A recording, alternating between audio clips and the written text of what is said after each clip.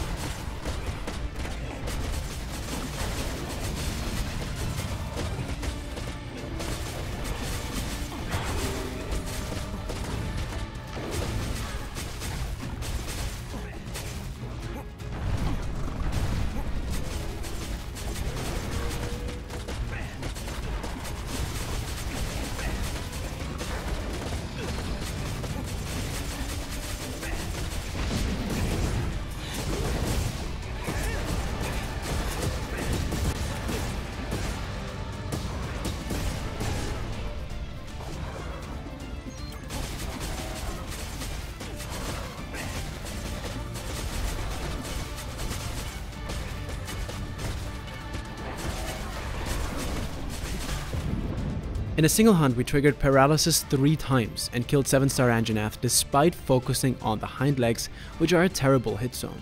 So let's try to hunt a 7-star Rathalos now, but this time we'll attack the weak point. After this message from our sponsor. It is the year 2029 and the world is on the brink of extinction. It is your time now to take off to the stars and save this world.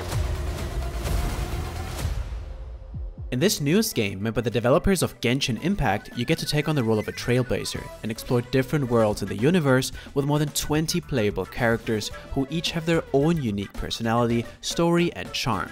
Honkai Star Rail features complete 3D environments with free camera support and a new turn-based combat system which stands out due to its really beautiful graphics and animations. And the game already shows a lot of success. In the first 6 months after release, it was already downloaded over 80 million times. Honkai Star Rail is free to play on mobile and PC, but it also just became available on PS5, where you can seamlessly sync your account data between PC and mobile. The 1.4 update has just gone live, which introduced the new limited 5-star character Jing Liu, a female hero who has her eyes covered in black and uses an ice sword for combat. This update also brings the young business savvy Topaz and her fire type pet called Numby. Players get to experience a new story which takes place on two new maps, the Pillars of Creation and the Old Weapon Testing Ground. And if you log in for 7 days, you get 10 free summons for Jingliu or Topaz. Honkai Star Rail is free to play on Android, iOS and PC and you can download the game via our link in the video description. Once you're in the game, use our promo code to get 50 Stellar Jades for free.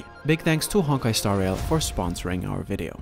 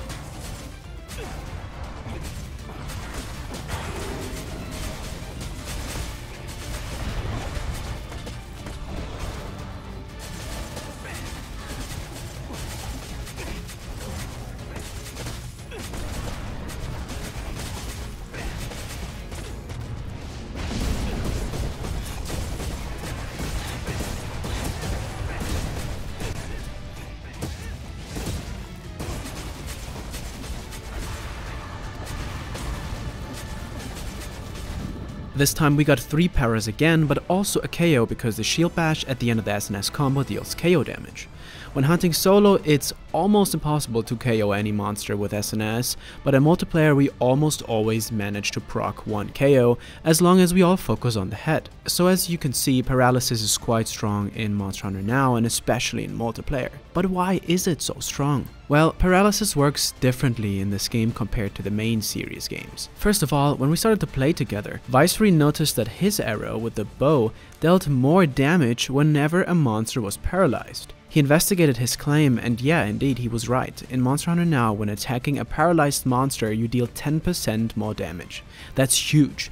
Here you can see side by side the difference between attacking a Rathian's head on the left side and when it's paralyzed on the right side. Every hit deals 10% more damage. And this damage increase even lasts until the animation completely ends, so a bit longer than the duration of the yellow paralysis effect that you can see in the game. Now that we know paralysis increases our damage, it's time to test this with 3 paralysis SNS and 1 elemental bow build, optimized for high damage against this 7 star Anjanath. So with one less para SNS, we only got 2 paralysis this time, but also a KO, which sadly got interrupted by a head break. Niantic, in case you see this video, please make it so part breaks do not interrupt paras and KOs. It's super sad every time this happens and you lose a big opening to deal damage. Anyway, the hunt here took us roughly the same time compared to when we hunted Anjanath with 4 para SNS. So 3 para players is totally enough when pairing with a high damage dealing player. But let's face it, these are 4 player hunts, and for normal players it's insanely difficult to even find one other good player to team up with. So replicating a 4-player hunt would be almost impossible for most people. So then let's try this in 2-player, shall we? How fast can Artemis and I kill a 7-star Rathalos with 2 Para SNS?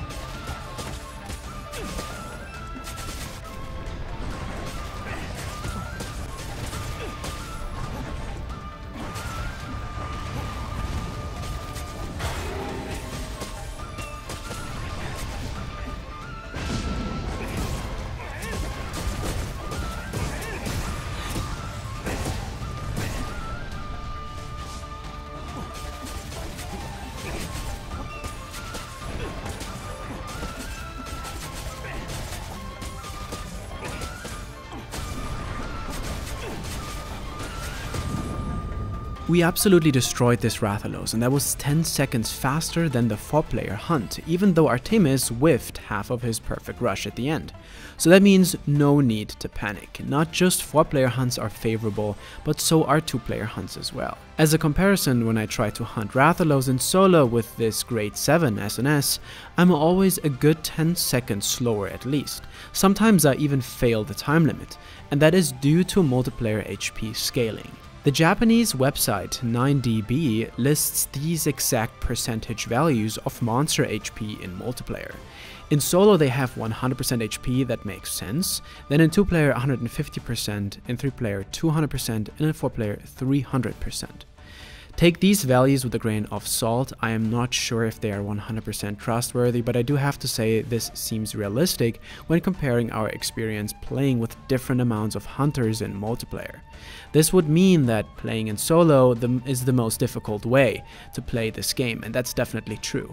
When you play in two players, the monster HP only equals about 75% per hunter, and the same goes for four player, so that makes 3 player then the best way to play this game as you only have 66% HP for the monster per hunter to deal with.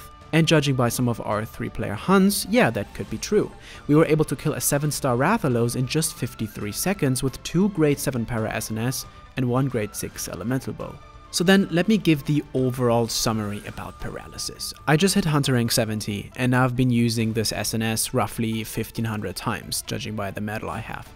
So how good is it? Because I did recommend this weapon specifically to you guys in this video a few weeks ago, and now that I reached 8 star monsters, was it worth it?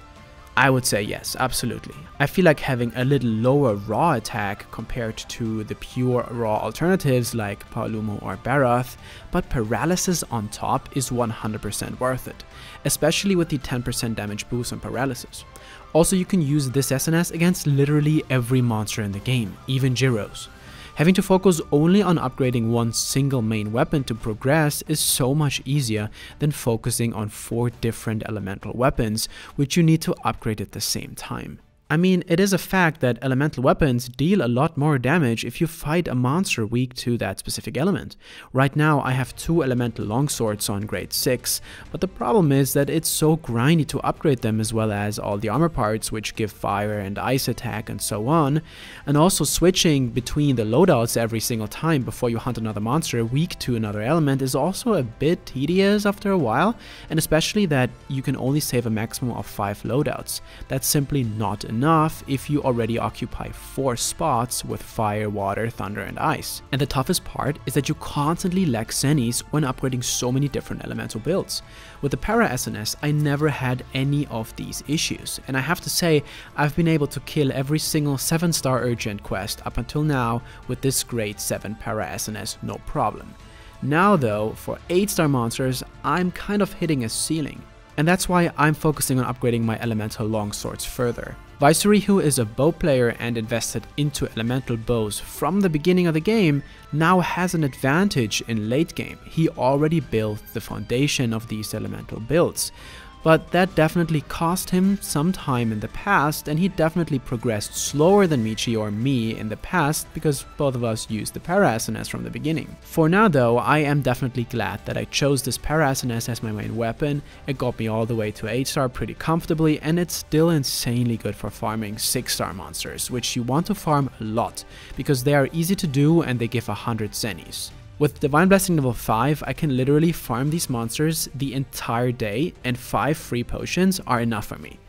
And yeah, lastly, this Para SNS is also super good for playing with friends and I think even once I have all of the Elemental Longsword builds finished in the future, I will still keep using this Para SNS a lot more moving forward. But for now, I want to know from you guys, which weapons do you guys use in now? And also, do you have a build with Divine Blessing, which you use for farming like I do? Let me know down below in the comments. And with that said, my name is Chris, and I hope you guys enjoyed this video about the true strength of paralysis in MH Now. If you like this video, don't forget to subscribe so you don't miss my next video, which is about elemental damage in MH Now and about the best elemental weapons in the game. Making these videos takes so much more time than I thought it would because the game is so grindy. So I hope you guys are a bit patient with me. And until then, I'll catch you in the next one. Peace.